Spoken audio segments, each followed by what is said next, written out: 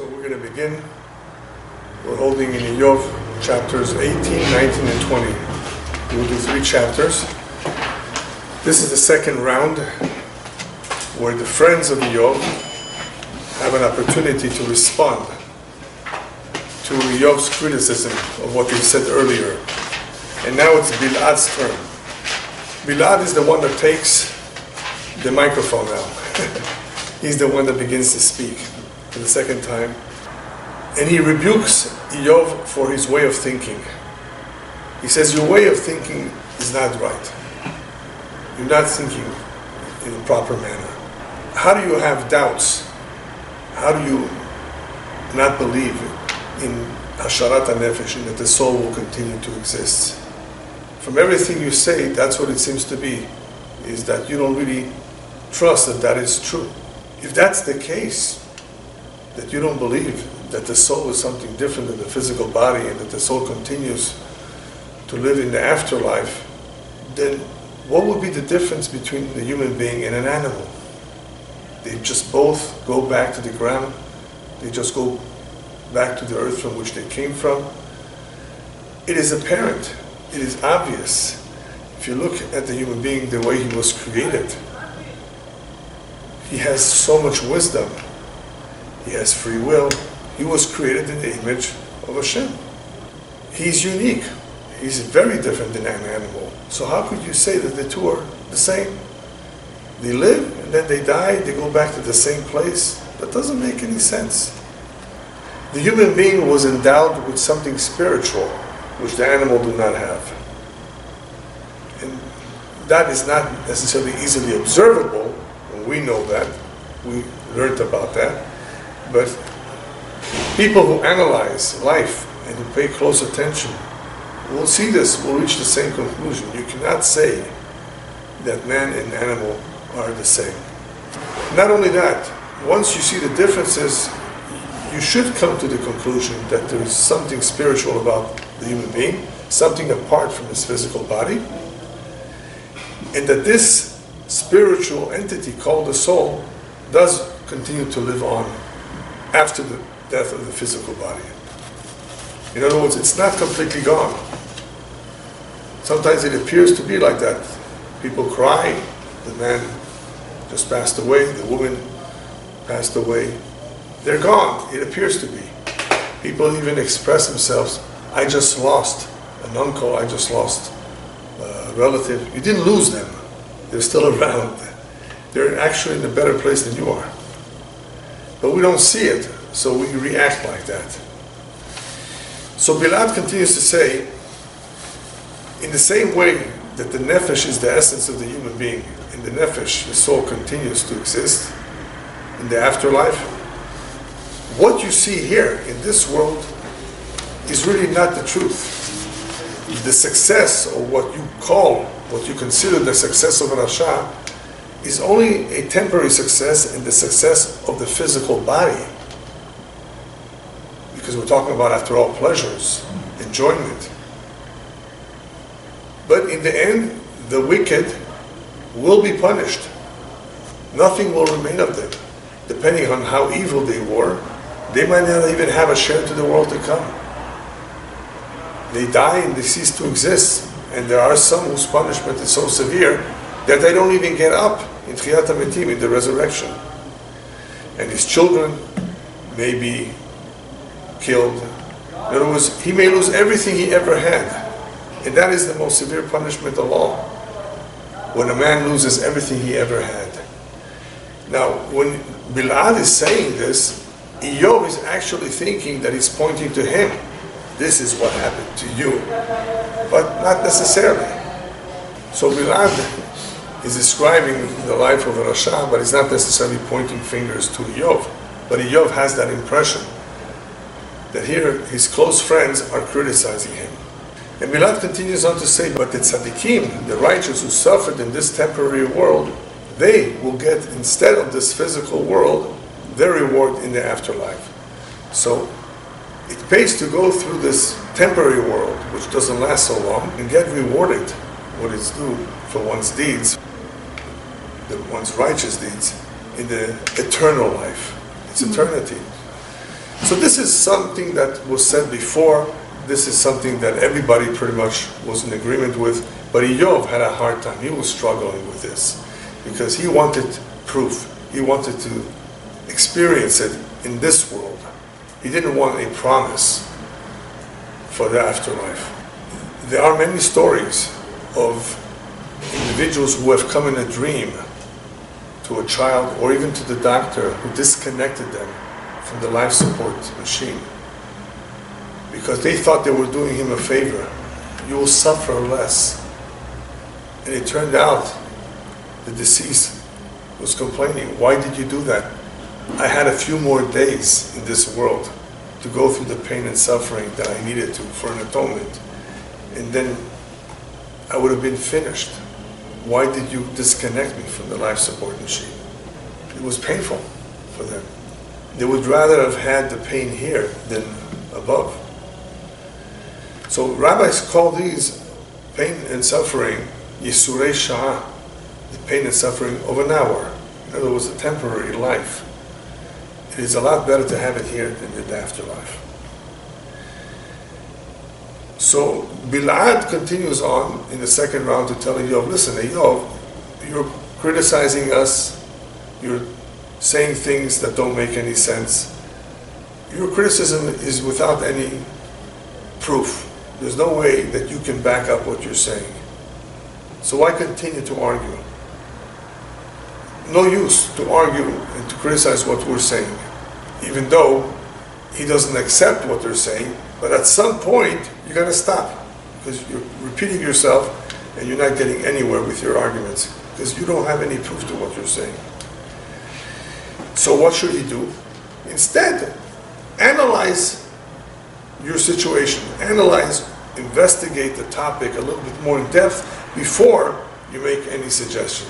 Before you say anything, before you either agree or disagree with what we're telling you, learn a little bit more. A lot of people just react, criticize, are upset without really thinking about the argument. And that's what Bildad is telling Iyov, think a little bit more about this. In reality, in life, what happens is that rabbis tell us, God has many messengers.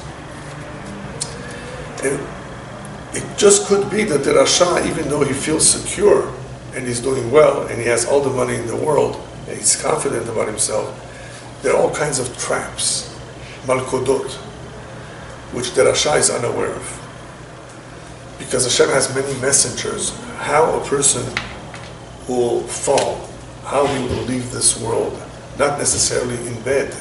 It can happen in all kinds of ways. And there are some, the wisest and the richest would never have dreamt that it would happen to them. And there is such a story with one of the Rothschilds. And the Rothschilds were blessed, and their blessing of wealth went on for many generations till today. But not all of them remained religious. There was one specific, there was one particular individual who was a banker, very wealthy, and he once expressed himself, he was so confident, from hunger I will never die. You know, I know, based on the money I have, that from hunger I will never die. Why would he say that? Because people died of hunger, people died of all kinds of diseases. So he said, at, at the very least, I know that from hunger I won't die. And what happened to him? He once got locked up in his walk-in safe. You know, those big safes. He got locked. He didn't have the key. He couldn't get out. He knocked. Nobody heard him. He was there by himself. He locked himself in. And he saw that his time was was going by and that he was going to die in the safe from hunger. There was a little bit of air, perhaps, but he didn't have any food. So what did he do? He pricked his finger. He didn't have a pen. And with the blood from his finger, he left a note. And that's what he said, I once said that I will never die of hunger. And here, this is what I'm dying from. Rabbis say about this, Al tiftach peh lasatan, don't ever open up your mouth to the satan. Right. No, don't make such suggestions. You never know what could happen. Just pray to Hashem that everything should be well. Don't be so overconfident. There's all kinds of traps out there, all kinds of messengers, including something that you never dreamt of. That could happen too. But what's the point of this? The point of all of this that Bildad is emphasizing, and so are his friends, is HaTzur Tamim Pa'olo. As the Torah says, Hashem's ways are correct. There's nothing exaggerated here. There's nothing done without a certain cheshbon, without a certain reason of why it happens this way. Unless, of course, somebody takes his life. We're not talking about that. But if something happens, to someone and he dies of hunger, he died in a car accident, God forbid, he died uh, from some other disease, he was killed in battle, or he died in the plague. It's all from Shemayim. And it's all correct and it's all just. This is the way it to be.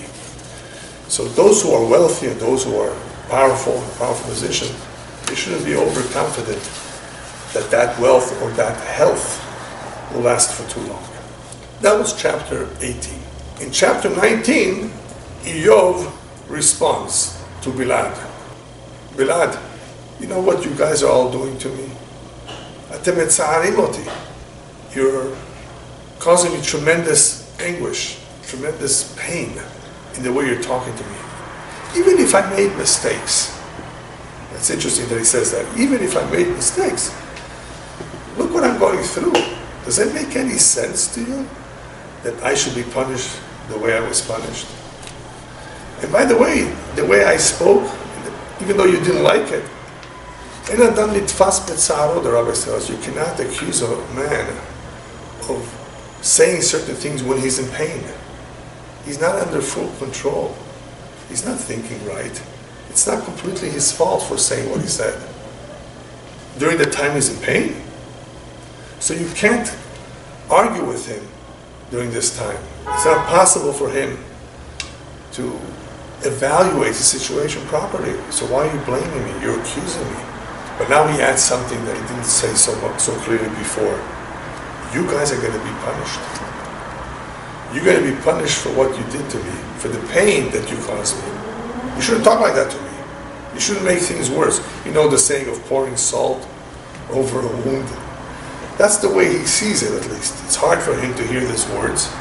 And he says, You're going to be punished from Shemayim, from heaven.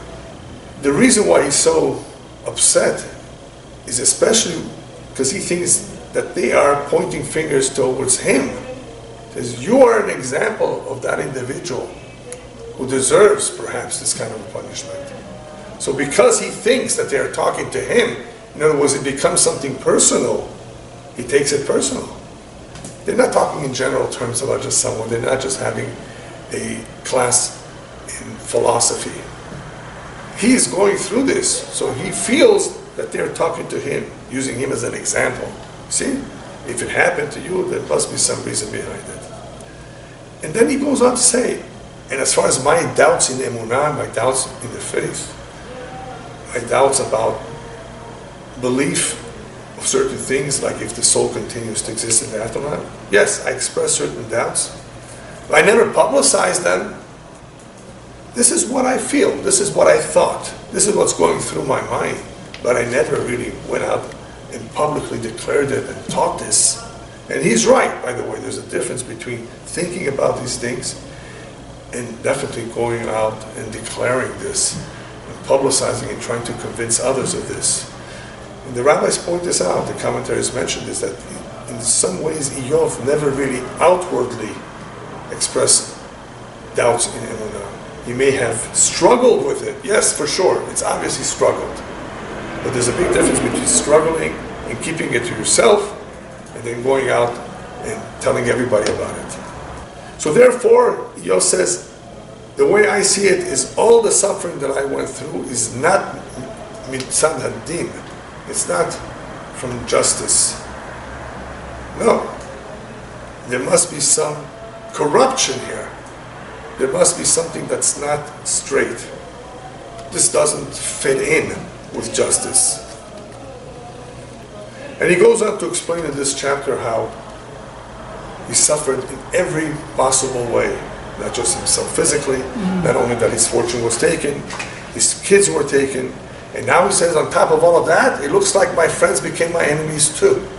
So now everything is wrong. And even you, Bildad, pretty much that's what he's saying. And Bildad was his closest friend. From all the friends, he was the closest.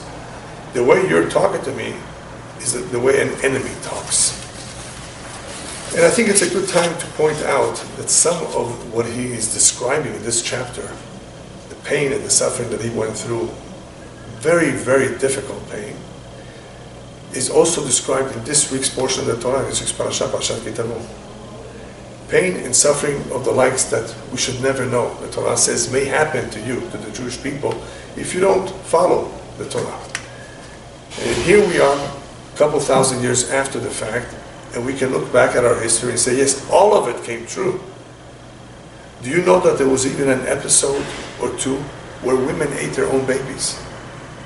Who would ever dream that they would go to that extreme at a time of hunger?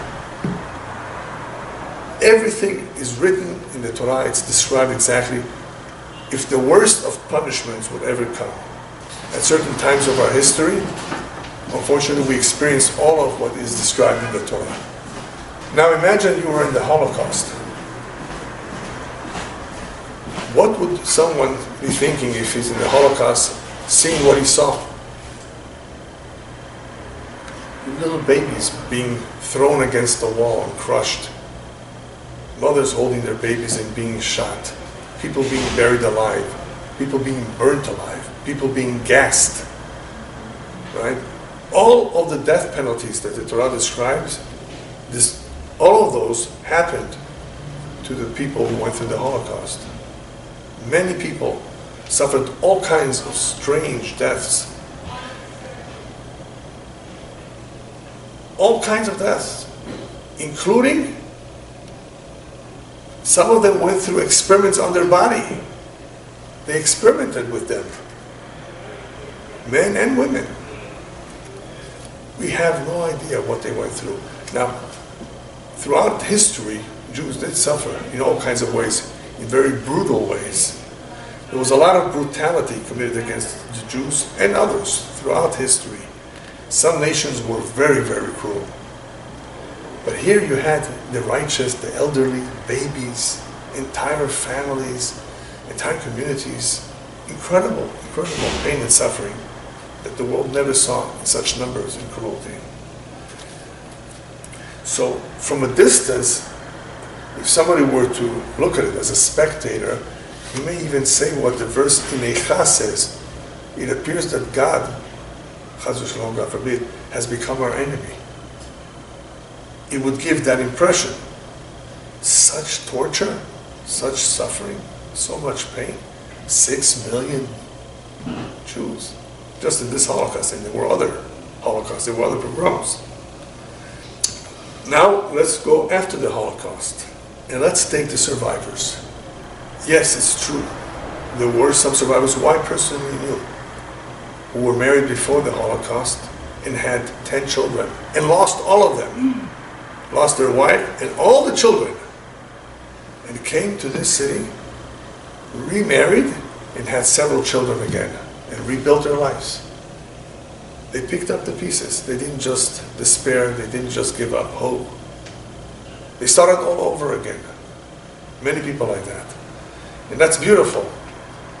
But not everyone had that courage, not everybody had those sentiments after the war that it's time to rebuild.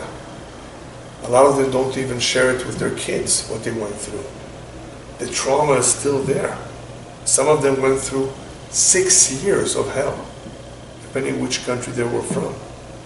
The Polish, the Lithuanians, those in the vicinity, they suffered the longest, the most. So this is an example of where people saw the most terrible things that you could ever imagine, which the Torah describes can potentially happen. So it should not come as a surprise, but still, human nature is shocked. And we cannot judge these people. We don't know how we would react, but it has broken a lot of people.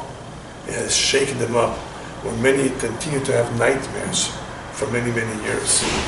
So imagine, here we have Iyov, who's going through something similar. And this is before, of course, the Torah there's no way for him to have any idea why this is happening. He would love to know.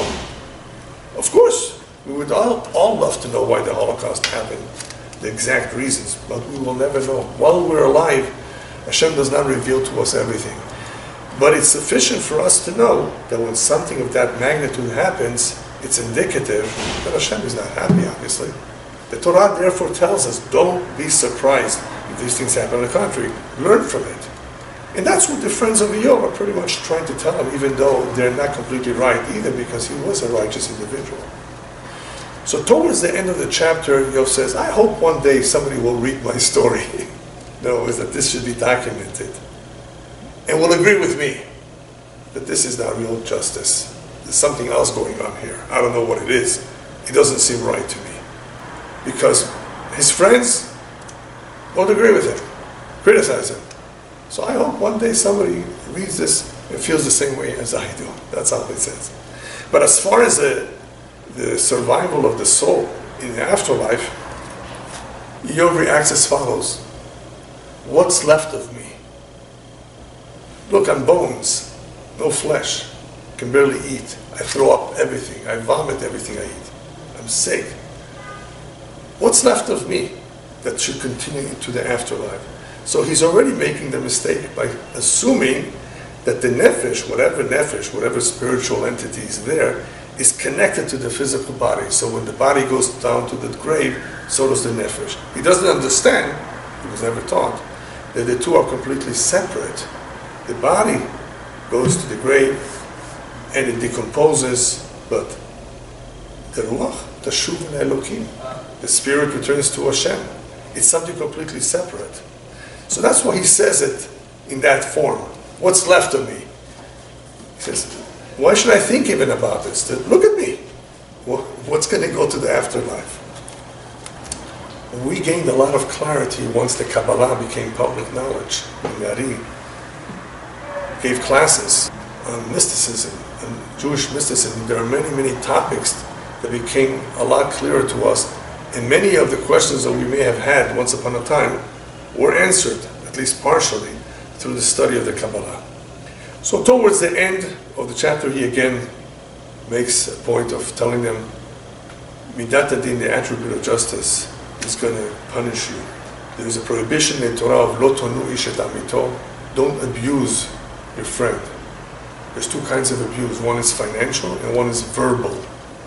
To inflict pain verbally, make somebody feel bad, to belittle him, to ridicule him, to accuse him of something that is not true, and make him feel bad, it's a asur. It's forbidden to do that.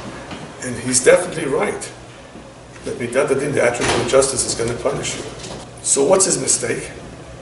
His mistake is that the eyes of the human being, the eyes that are of flesh, cannot possibly know everything and see everything. So he may be right about what his friends may be punished one day, perhaps, for overdoing it, for not being sensitive enough. But where he's wrong is that you can't talk like that because it's obvious that the human being has no knowledge of everything. It's not possible for him to know everything. Last chapter that we'll do today is chapter 20. Okay. And this is this time it's Sofar, who spoke before and now speaks again. He gets his turn. And he was more into philosophy. But he realized last time from his discussing philosophy that Iyov was not happy with that either. But his main point was Iyov. There's a difference between knowing something from somewhere and feeling it you expect to, to know things through feeling it, experiencing it. But this feeling can only feel that which is external, that which happens externally. It cannot really know what's going on truly internally. In other words, what's behind the scenes? What is the truth? What are the actual facts? to feel and experience it physically, you will never, never be able to know everything that there is unless you have previous knowledge. Knowledge is what is needed here, not for you to feel. And you are judging everything by how you feel. I see, I feel, I experience, this is the way I judge things. No, you can't. There's something that knowledge has with greater clarity than that which we see through our life just by our own personal experiences. And that is one of the complaints that we have about science. Scientists would like to feel or see things to be able to admit or to be able to agree if something exists or not, if something is real or not. But not everything is physically possible for us to experience or see. What can we do? It's just that we're used to living in a physical world and we expect to be able to see everything. But tell me, can you see bacteria? No. You can't see everything. And even with special tools, you can't always see everything. You can't see electricity, but we see the effects of it. So it's wrong to say that you will only believe if you actually see it with your own eyes, if you physically feel it or experience it. Therefore, in reality, Sofar we would also be able to answer regarding the question of why the wicked has it so good in this world. He would also be able to philosophically deal with that question that it's not possible for us to know what is really good and what is really bad. Oh, he has it good. You think that is good? Or he has it so bad? Who's told you that that's bad? So therefore, Sofar could have used this argument of this approach to deal with that question too. No, the Rasha doesn't have it so good. You think that's called good, but that's not good. But he doesn't because he knows from the past that Iyov did not like to argue philosophy. What you're saying is good for philosophers, not for the simple person. That's what he sees. He sees the guy just made a million dollars. He won the lottery. Why him and not me? The average person, that's what he sees. That's what he would believe. So don't come with a philosophical argument and try to convince me.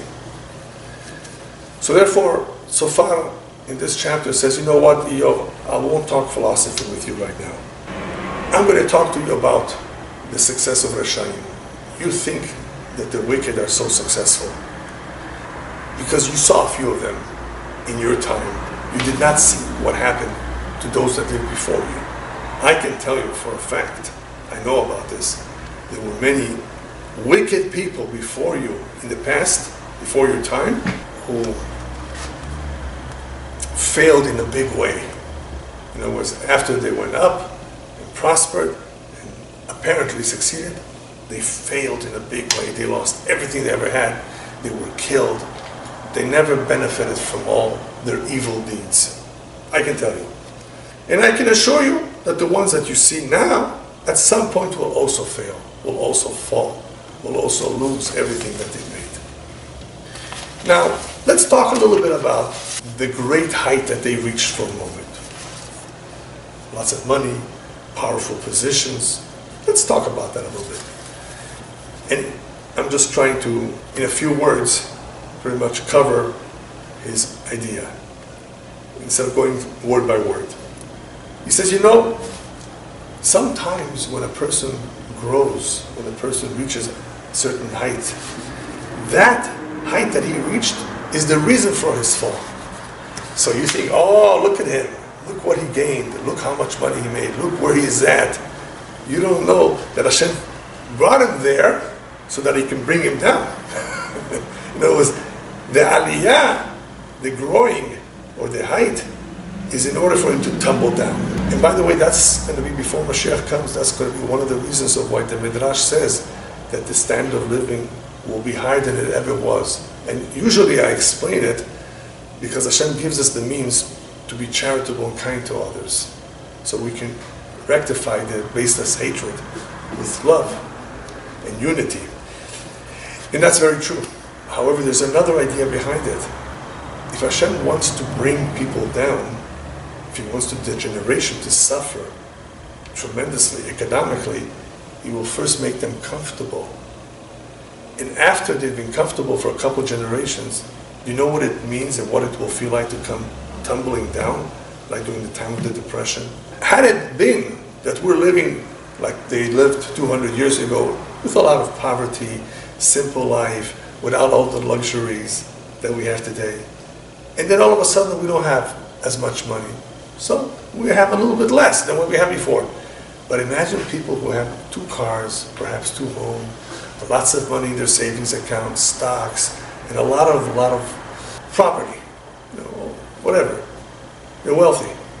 And imagine that they lose all of it, or a lot of it. Their pain will be a lot greater than had they not had it. That's what he says to Iyov. Sometimes you don't understand it, but the fact that he's going up is because he's going to feel the pain a lot more when he comes down now. As the saying goes, the higher you climb, the greater the fall. You heard that? Mm-hmm. Sure. So therefore, so Father tells you, know, if you really want to see this in real life, you can't see just a couple frames of 30, 40, 50 years. You have to see several generations. And you don't. We don't live that long. But you have to look at a real broad segment of human history, perhaps four, or five hundred years, and then examine it and see what happened to the wicked. And then you'll be able to reach a better conclusion. Not through a short period of time in your life. And he goes on to tell him, have you seen other generations? Have you seen other wicked people who have been successful before? No. You're only looking at a short period of time.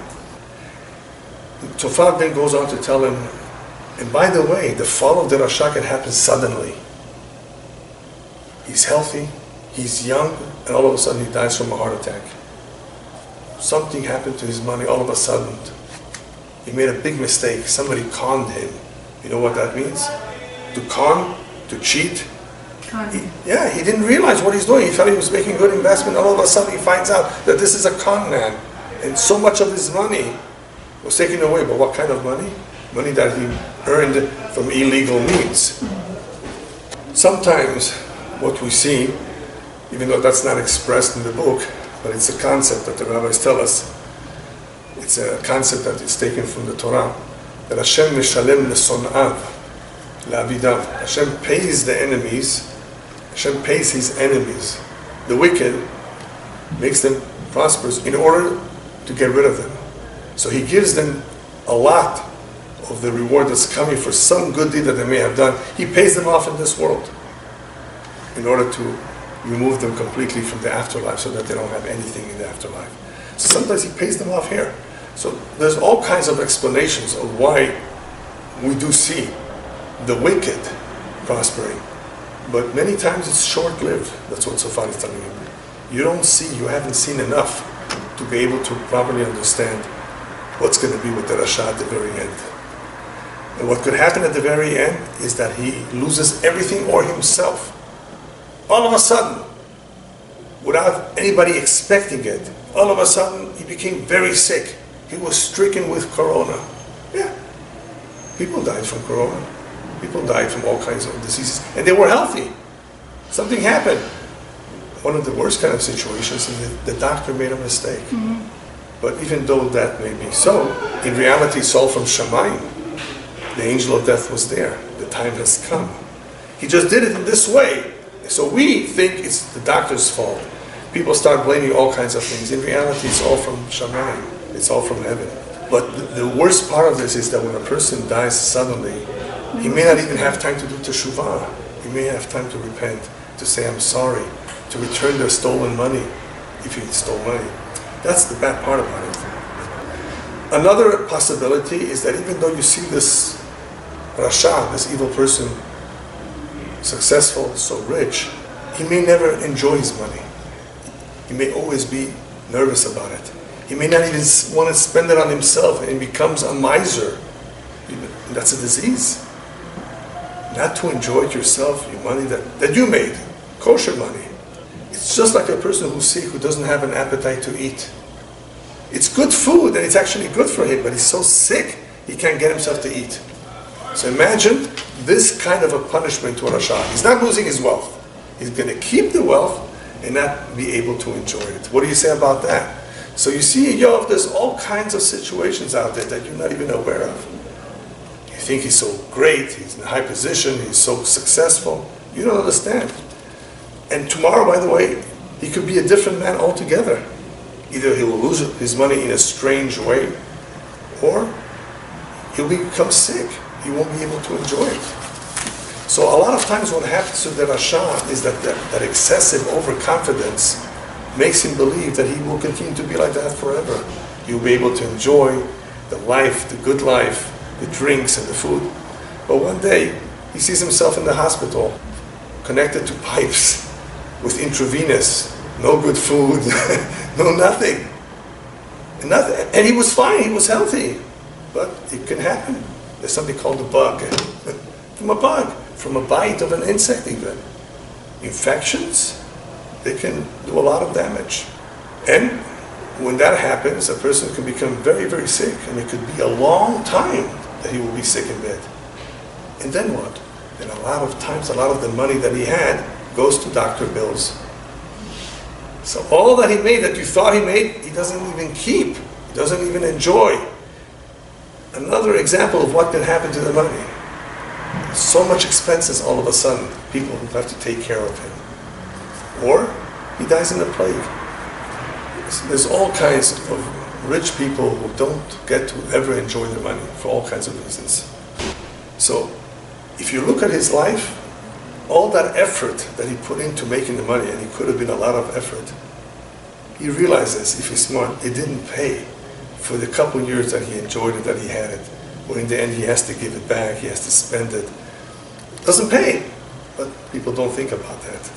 And if nothing happens to him from outside, nobody takes away his money, nobody steals from him, nobody hurts him from the outside, Sofar continues on to say, it doesn't have to happen that the arrow should come from outside, he says. It could happen that the arrow comes from inside. What he means is that he could be attacked by some illness. So look, Iyov, it's not that the money necessarily is going to disappear because armed robbers are going to hold him up. It could be that something internally is going to get to him, and he won't enjoy it. He won't enjoy all that money that he made. He could become depressed. You know how many people are depressed? But he has all this money in the world. Where did all this depression come from? There's so many examples. There's so many kinds of diseases. And it's not hereditary. It could be from anywhere. You could have caught it on a trip. How? Why? It's from Shamayim. So all of this, Sofar is telling Iyov, no philosophy here. Well, let's leave philosophy out. These are the facts. Have you considered all of this? You have to look at the bigger picture, but we can't. We only live so long. Just to like to finish with Sofar's last words, which are very powerful. Zofar adds the following detail. And by the way, when Hashem goes after the Rasha, many times what happens to the Rasha, to the wicked, will become public knowledge. He won't just die or lose his money and nobody will find out about it and not make anything of it. No, no, no. Sometimes what will happen is it, it will be the headlines. People will be surprised. Hashem sometimes does this in a big way, in such a public way, so people should see, realize, and learn from this that everything is b'hashgacha, that there is din b'cheshbon, yesh din v'yesh dayan, that there's a judge. Hashem wants to teach lessons He's not just going after someone, he's not just going to punish. It's not just the attribute of justice that's going to exact punishment from him. Many times it will happen in a very grandiose way, in a very public way, so clearly that people will say, wow, look, to the best, to the greatest, to the richest, look, this can happen. Don't be so overconfident. To reveal this is a very important idea in the sanctification of Hashem's name. There's a story of a couple that on Yom Kippur, the house fell down on them and they died. Yom Kippur is a fast day. Most Jews fast. When they removed the rubble from the house, they saw that the couple had eaten. There was still food in their mouth. Look, they were desecrating Hashem's name. That was a Chilul Hashem. They, they were trying to keep it a secret that they don't keep Yom Kippur properly. Hashem says, I'm going to make it public knowledge. You can't hide from me. And people should know that. You cannot hide from Hashem. And that is exactly what the rabbis tell us in Pirkei Avot. All your deeds, those that are public, those that are concealed, nobody may know them, they're all written down. And Solomon, in the last verse of Kohelet, says it in more powerful terms. כי את כל המעשה האלוקים יביא במשפט על כל נעלם עם טוב ועם רע. Whether it's concealed or not, whether it's good or not, everything in the end will be revealed. Hashem will make it public knowledge. So at some point, everything will become known. The rabbis tell us that the reason why the soul is ashamed of itself upstairs is not only because it is able to see in a video its entire life go by the mistakes that it made. It's because the relatives will also see it. So the soul has the greatest gehenom in the shame that it has to endure when it sees all of that, unless it took steps while it was alive to rectify it. So Sofar makes a very strong argument to Iyov. Listen, he's there. He's aware of everything. And at some point, we'll all be able to realize it. At some point. Hopefully, hopefully, we should be able to see the good things that we did and not the negative things. And that's what Shlomo HaMelech says. Some things people don't know about. There's some things that are good and some things that are not so good. But let us hope that we focus on doing only good, and only the good will become public.